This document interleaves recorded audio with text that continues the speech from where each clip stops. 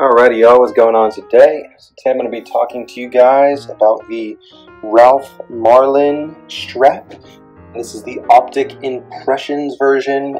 Um, Ralph Marlin makes tons of different straps and you know they all come in different they're, they're all basically about the same sort of outlay in terms of like build but as for the designs or the actual I guess you could call them graphics that they have on the straps are all a uh, bit different. This one obviously is Flames. Got this as a gift a while ago. To be honest, never really use it. I'm not really a Flames guitar strap kind of guy.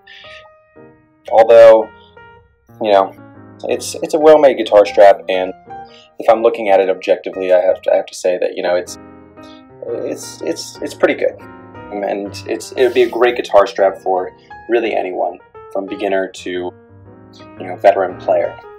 Anyway, Ralph Marlin, the uh, Optic Impression strap straps, they come in an array of different designs. They have Flames one, obviously. I think they have like a pouring beer one, and some other just random funny ones. I see these as more like comedic kind of straps, more like niche kind of straps. And for what they are, they actually look pretty good. I mean, the flames, as you can tell, are, are really, really nicely detailed. They're, you know, super cool, almost kind of have that like 50s rockabilly sort of sort of vibe to them. If you like know like the old like choppers t-shirts, they kind of have that that sort of vibe. But the graphics actually look really good. If you dig Flames, you'll like this. I guess it's it's high quality is what I'm saying. So you, so you basically have that. Strap is pretty thick. It is three inches wide, so it's it's a little too thick for my taste, honestly. If you're a bigger guy or girl, this actually might be perfect for you because it's a little bit wider. Or if you have a heavy, heavier guitar, it might just feel a little better. It kind of gives you more room.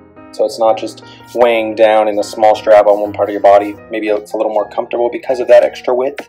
I don't know. I'm not really a huge fan of it, but it is one of the wider ones. If you do like that, it adjusts from 47 inches to 61 inches. So, you know, pretty standard, although it does go pretty long the ends of the actual strap, these are made of leather. I'm pretty certain this is like a fake leather.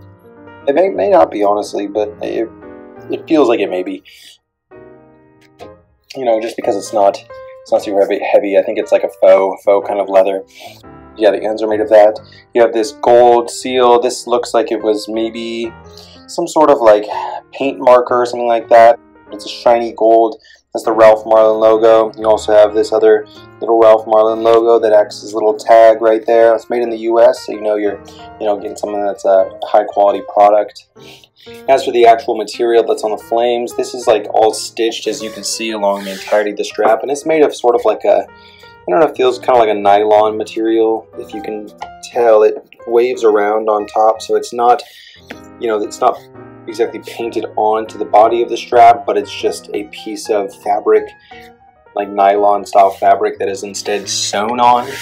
I kind of wish maybe it were on the actual strap, just because, you know, this makes it more susceptible to tearing, but, you know, you get what you get. The other side of the strap, you do have like uh, the leather material. This is just a flat black leather I, like I said, I've maybe worn this once or twice when I was kind of out of luck, didn't have a strap. And uh, the leather is actually pretty comfortable. Even the edges right here, though they're squared off, it doesn't like cut into your skin or into your shirt or anything. So that's nice. And then, you know, up top you have your typical kind of nylon seatbelt style strap or this portion of the strap, I guess you could say. Very, very simple, easy to adjust with this little mechanism right here.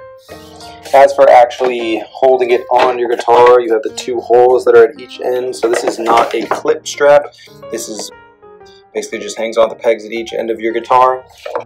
So yeah, overall, just, you know, very, very simple design, but unique in the way that, you know, it, it is is very wide and has the, the interesting graphics on it.